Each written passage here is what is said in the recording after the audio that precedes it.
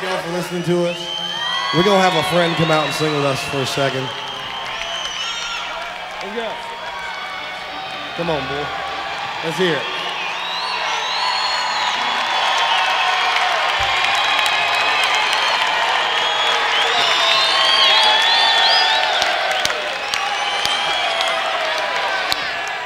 Hmm. you guys like Elvis, right?